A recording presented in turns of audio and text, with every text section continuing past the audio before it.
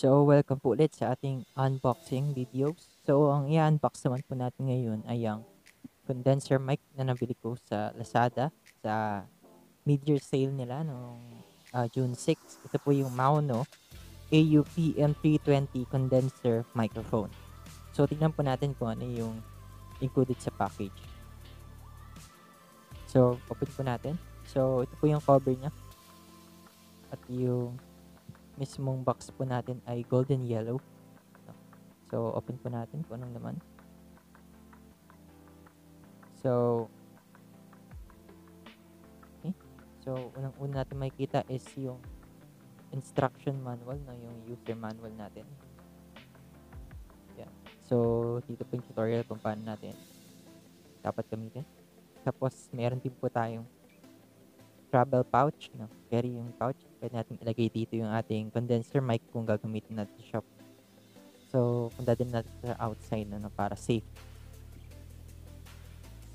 Tapos, nandito po yung ating microphone mount ano, na kasama doon. So, pwede natin itong i-mount dun sa mga mic stand natin, boom arm, at saka kung ano-ano pa. So, ito naman yung ating 2.5 meters na XLR to XLR cable. So, ito pa yung gagamitin natin para magamit natin yung ating condenser microphone.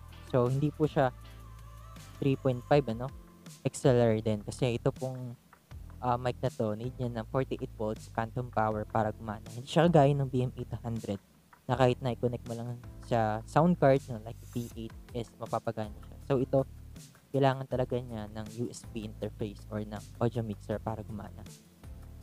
Lagyan natin siya yan. At ito na mismo yung ating condenser microphone. Ito natin. Yan. Kita natin ano. Ganda. So, all metal po yung ating uh, mic. So, nandiyan yung logo. So, nandito yung diaphragm niya. So, yung size nga po pala ng diaphragm nito is 16mm yung diaphragm. Kaya malaki-laki rin siya. No? Mas maganda yung sound.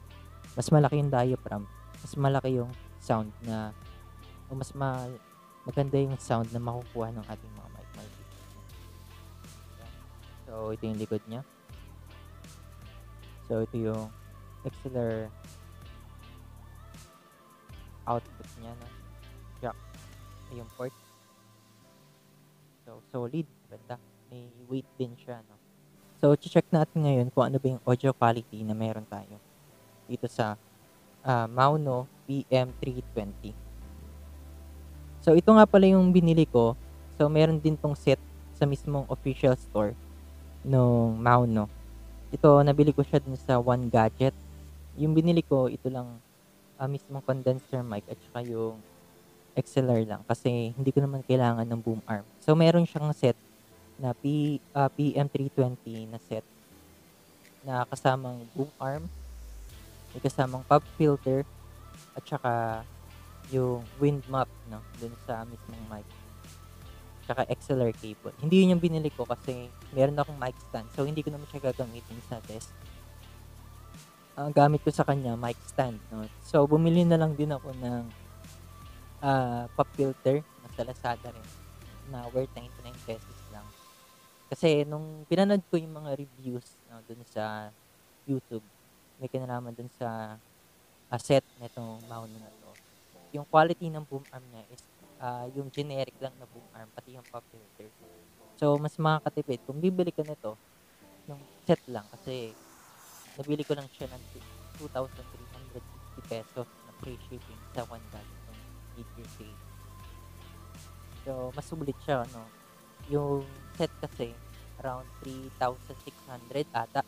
Kung tama yung pagkakaalala ko. Ilalagay ko rin sa description kasi baka kayo gusto nyo. Pero isa-suggest ko, na ganito na lang bilhin nyo. Tapos bumili ka na lang kayo ng mas matitibay. ng mas mga heavy duty na boom arm. Kasi bumili kayo ng set nito. Kasi later on naman, kung ah bibili kayo ng scissor arm na yung set nito, baka later on, gusto nyo rin mag-upgrade sa mas durable na ah, boom arm. Kaya mas maganda na ito na lang muna bilhin nyo. Tapos kung meron naman kayong mga desk uh, desk stand na mga uh, microphone desk stand, meron akong gano'n. Pwedeng yun na lang yung gamitin niya. So ngayon, testing natin ano, kung ano ba yung audio quality nung uh, mic na to. So, ang gagamitin ko is yung in-unbox ko nung nakaraan na mixer na may 48 volts phantom power. Yung aking uh, bombs no, na 4 channel mixer. So, i-connect ko siya dito sa mic 1. So, mamaya, papalitan ko na yung audio source ko. Yung gamit ko ngayon is yung B8 sound card na connect directly sa aking uh, cellphone. So, yung gamit ko na mic is yung shotgun mic ko na Boya MM1. So, hindi ganun kaganda yung quality na pinuproduce kasi ng T8. Nababawasan yung quality ng uh, mic. Kaya ngayon, ito yung gagamitin ko. Exchange ko siya dito sa uh, aking cellphone. No? So, bali, isasync ko na lang to Yung gagamitin ko is yung recording option dito sa aking uh, sa aking mixer. Nagamit ito SD card. Yun, kukunin ko siya dito. So, bali, eh, papakita ko pala sa inyo kung paano natin ito yung dito sa ating adapter. So, bali, uh, ito palang um, mic, uh, microphone mount na to. Wala siyang kasamang gantong adapter. No? Kailangan niya pa bumili nito ng adapter nito. Lalagay ko na lang sa description kung saan ko nabili itong uh, copper no, o bronze na adapter na nabili para sa mic stand. So, bali, ang connection niya is ganito. Sa bottom, itong uh, itong part na to, ito yung i-connect natin sa ating mic. So, yan. Tapos, i-screw nyo lang.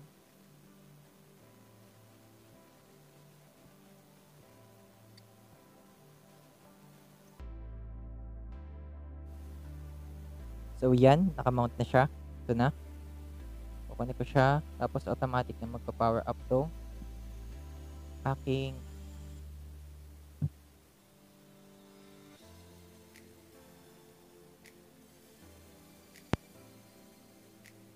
condenser mic. Ayan.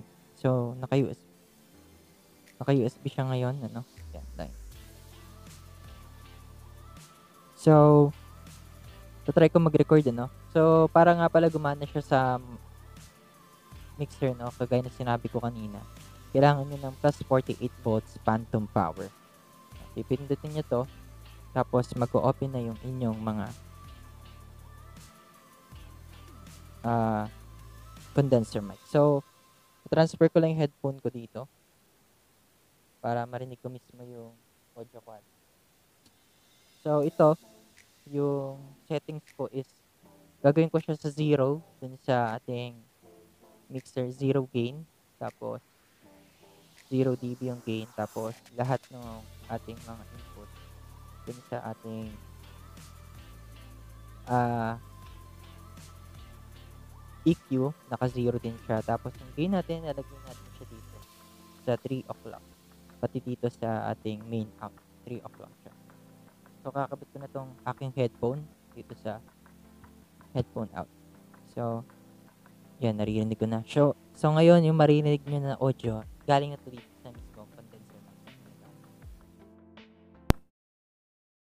So, ngayon, yung naririnig nyo po na audio is yung mismong audio na nanggagaling dito sa aking PM320 condenser microphone na Mauno. So, ibang-iba no, yung quality niya dun kumpara dun sa gamit kong may kanina True B8 sound card. So, magkakaroon na rin kayo ng idea kung ano yung audio quality na meron tong ating mixer na Bombch no, na inbox ko last time. So, nagre-record ako ngayon through USB, kagaya ng sinabi ko kanina. At, ito yung sa front side no, ng ating microphone. Magsasalita naman ako sa side ng microphone no, tsaka sa back side nito. So, ito yung audio quality kapag ka sa side ka, nagsalita. 1, 2. Mic test. 1, 2, 3. Ito naman sa back side niya. Sound check. 1, 2, 3. Sound check 1 2 3. Sa right side, sound check 1 2 3, sound check 1 2 3. Sa top side naman, sound check 1 2 3. Sound check 1 2 3. So hindi ganun kaganda yung quality niya no. Kumpara dito sa front side ng ating microphone. So dahil yung pick up pattern nitong microphone natin is cardioid pattern siya. So ibig sabihin, yung pipick upin niya audio is dun lang sa kung saang side. Halimbawa ito. So, kagaya na makita niyo dito sa instruction, dun lang siya sa front side, no? Yun na yung area na mapipick up niya yung audio. So, kapag ka nagsalita kayo sa ibang side, mahina, no? Nire-reject na siya ng mismong diaphragm ng microphone. Kaya, marami ako nakikita kasi ng mga YouTuber na nag, oh, nagagamit sila na may kinagamit nila yung top nung microphone na yun. Pero, dahil nga nakadepende siya sa card rate pattern no sa pick up pattern sorry ng mic hindi ganun hindi pare-parehas yung quality na makukuha natin kumpara dun sa mic na to so kung i-compare natin sa BM800 no, mas maganda yung microphone na to at ngayon nagkaroon din kayo ng idea kung ano yung audio quality ng ating Boomsh na mixer no, na ginagamit natin ngayon na nire-record natin dito so kailangan ulit merong 48 volts phantom power yung ating audio interface or mixer na gagamit natin para mapagana itong mic. So ngayon magsasalita ako ng 1 meter away from the mic. This is 1 meter away from the mic. Sound check 1 2 3. Sound testing 1 2 3. Sound check 1 2 3. Mic testing 1 2 3. So ngayon naman magsasalita ako. Ay hindi ako magsasalita pala para marinig nyo kung ano yung pick uh, yung sensitivity ng mic na to. Kung ano yung napipick up niya na background noise.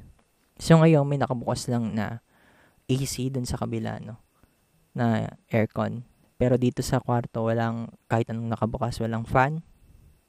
At yung maririnig lang natin is probably yung AC lang.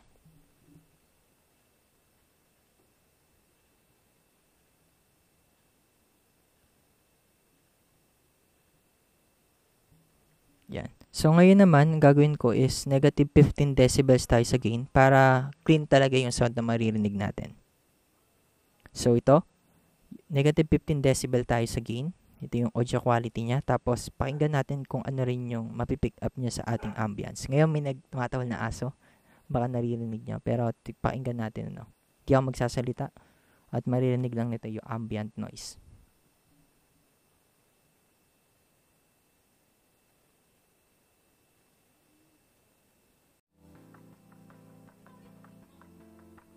Yan. So, so overall, yun yung audio quality na maririnig nyo sa ating mic. So, babalik ko siya zero. So, ito na pwede nyo siyang gamitin sa mga podcast no, streaming, kung mag stream kayo. Pwede nyo siyang gamitin sa song covers, no, kung magre-record kayo. So, maganda para sa akin yung audio quality ng mic na to. At sulit yung uh, binahid ko dito na matagal ko na kasi gusto magkaroon ng condenser mic pero nag-aalangan ako na bumili ng BM800 hindi naman ako makabili ng mas mahal like Audio Technica kasi hindi ko naman siya gagamitin for good. So ngayon dahil itong Mauno meron silang release ng magandang package no, na set na condenser mic lang. Kaya binili ko na rin siya at hindi naman ako nagsisi sa pagbili ko. So kung nagustuhan nyo yung video na to ilalagay ko sa description sa baba kung saan ko nabiling store to. At sa next video naman, testing natin itong mixer, no? Kung ano yung full potential na pwede nating magamit dito sa mixer na to. Ngayon, na testing pa lang natin siya sa 48 watts phantom power tsaka yung recording niya through USB. Pero next video, papakinggan natin kung paano natin siya magagamit sa ating cellphone at saka sa ating laptop or PC. So, huwag niyo kakalimutan mag-like at mag-subscribe para maging updated kayo sa mga future videos na i-upload natin. Thank you.